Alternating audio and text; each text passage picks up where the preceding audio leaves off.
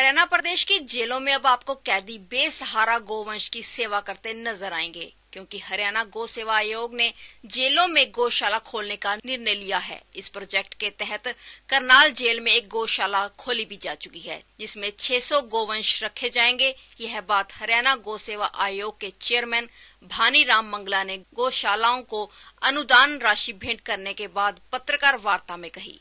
इस अवसर पर गौ सेवा आयोग के चेयरमैन ने कहा कि जेलों में खोले जाने वाली गौशालाओं में गोवंश के गोबर से बायोगैस प्लांट लगाकर जेल की ईंधन क्षमता को वहीं पर पूरा किया जाएगा और जैविक खाद भी तैयार की जाएगी। वहीं चेयरमैन ने भिवानी की 22 गौशालाओं के लिए लगभग एक करोड़ सत्रह लाख रुपए की अनुदान राशि गौशालाओं को भेंट की। एक तो ये हमने नंदीशालाएँ खोली हैं। हमने गोवा भरने हमारे दो खुल रहे हैं। एक हम जिला पानीपत गाँव नैन में खोल रहे हैं, जिसका अगले दो महीने के अंदर शुरू हो जाएगा। एक जिला हिसार में गो भरने का काम एक विंग मैंने 24 तारीख को शुरू कर दी, साढ़े बारह एकड़ में। उसमें 200 सौ गोवंश हमने उसमें पहुँचा दिया और आगे अभी पाँच सात सौ और जाएगा। और बाकी के में काम हमारा वहाँ चल रहा है। वो भी हम तीन चार महीने में कर लेंगे। तो दोनों गोबरने में तीन तीन हज़ार गोवंश हमारा बेसहारा उनमें जाएगा। इसके अलावा हमने जेलों में गौशाला खोलने का निर्णय लिया है। अभी पिछले दो महीना पहले करनाल जेल में माननीय मुख्यमंत्री ने गौशाला का शिलान्यास किया। अभी मैं कल देख के आया हूँ कि उसका काम प्रगति पर है और अगले पाँच चार महीने में वो भी हमारी पूरी हो जाएगी। तो उसमें भी हम 600 गोवंश रखेंगे उसमें 200 दूध वाले 400 बगैर दूध वाले। हमारे क्योंकि जेल में लगभग वहाँ मैंने जैसे पूछा उनसे एक हज़ार लीटर दूध रोज़ाना वहाँ आता है, जो वीटा से पचपन हज़ार का आता है। तो हम उन 200 गाय जो होंगी दूध वाली, उनसे दूध हमारा हो जाएगा और उसके साथ साथ हम बायोगैस प्लांट लगाएँगे। हमारे वहाँ एलपीजी के पंद्रह सोलह सिलेंडर लगते हैं और वो एलपीजी से जो सिलेंडर बचेंगे और जो सैलरी निकलेगी, उस जेल में लगभग 40 एकड़ में कल्टीवेटिंग होती है।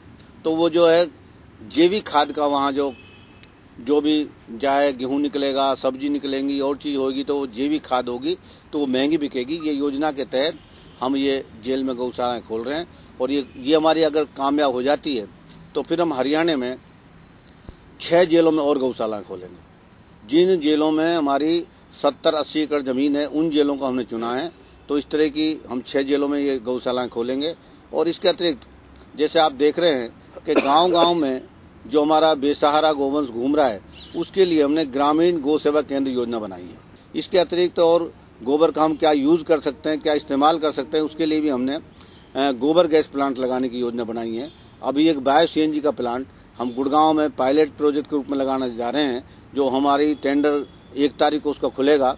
जो भी कंपनियाँ उसमें विदेशी आ रही है तो वो बना करके अगर हमारी ये कामयाब होती है तो हम फिर 2000 से ज़्यादा जिनमें गोवन से सभी गौशालाओं में हरियाणा में बायो सीएनजी के प्लांट लगाएँगे। शुरुआत की जाए। देखो ऐसा है ये आपकी बहुत अच्छी बात है। और मैं ये समझता हूँ कि बीजेपी के विधायक एमएलए या कार्यकर्ता या अधिकारी के अलावा आप और हम सब, समाज के लोगों का ये दायित्व है कि गाय की सेवा हम सब मिलकर करें। जितना दायित्व बीजेपी के कार्यकर्ताओं का, विधायकों का, उतना दायित्व मैं समझता हूँ आपका भी बनता है। आप भी समाज के अंग हैं, हम सब मिलकर के अगर अपने अपनी गाय पालेंगे तो ये गाय बचेगी, देश बचेगा। को गोद लिया जा रहा है, शहरों को गोद लिया जा रहा है तो इस प्रकार से हर आदमी ने जो गोद नहीं लेनी मैं तो कह रहा हूँ लेनी चाहिए मैं मना कहाँ करूँ? मैं तो कहूँ सबका दायित्व है। आपने बीजेपी का कहा ना मैं कह रहा हूँ ये सब सब देशवासियों का है? शुरुआत की बात करें। आप लोग ऐसी इस प्रकार की मुहिम है कि ये शुरुआत भी करें। ये आपकी सरकार के मार्फत से ये बात है। मैं तो मैं मैं मैं देखो मेरे ज़रिए कहवाने की बात ये है कि अगर किसी को व्यवस्था नहीं होती ज़बरदस्ती कुछ नहीं हो सकता। मान लिया मैं एक शहर में रहता हूँ मेरा व्यवस्था नहीं कर सकता लेकिन मैं उसके लिए दूसरी बात कहता हूँ। मैं दूसरी समाज से ये बात कहता हूँ कि आप अगर अपने घर में गाय नहीं पाल सकते, सेवा नहीं कर सकते तो गौशाला में एक गाय गोद लें। और गोद लेने के बाद उसका भी हमने रेट कर रखा ग्यारह हज़ार रुपया हर साल दे दें उसको तो एक गाय गोद होगी। अगर इस तरह में बीस गाय भी अगर गोद ले ली हमने, एक गौशाला में तो बीस गाँव का तो पालन पोषण ठीक हो गया ना? तो वो हमारा, मैं कहता हूँ, देखो हमारा सारे समाज का दायित्व है गाय को रखने का।